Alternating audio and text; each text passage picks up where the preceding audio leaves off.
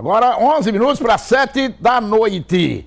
Um trágico acidente, você já ouviu a coordenação do SAMU aqui, entrevista ao vivo no programa, viu um vídeo rápido logo depois do acidente, gravado para esse programa.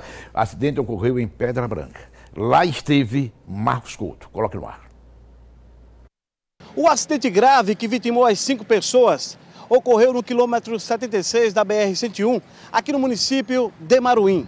Era por volta das 16 horas, quando este veículo descia sentido Aracaju e o táxi, lotação, saía de Aracaju com destino a apropriar.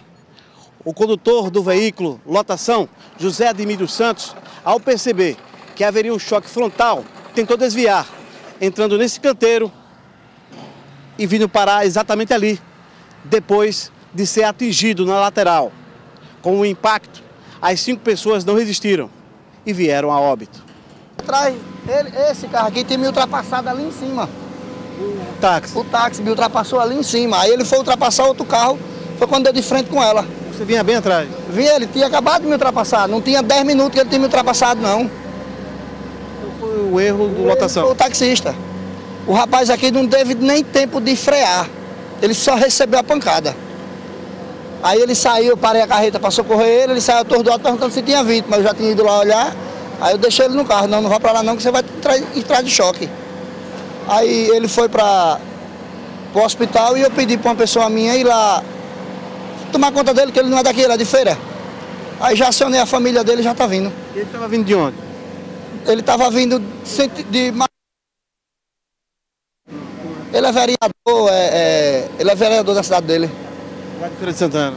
Lá próxima feira. Aí vinha descendo. Ele vinha subindo, no caso, sentido Aracaju. É. E o táxi ia sentido para Priar. Aí quem fez o erro foi o taxista.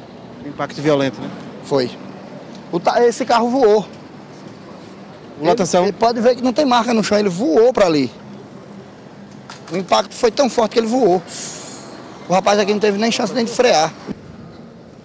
O impacto foi tão violento que uma das rodas traseiras do veículo lotação foi desprendida ao chegar nessa pista duplicada, inacabada.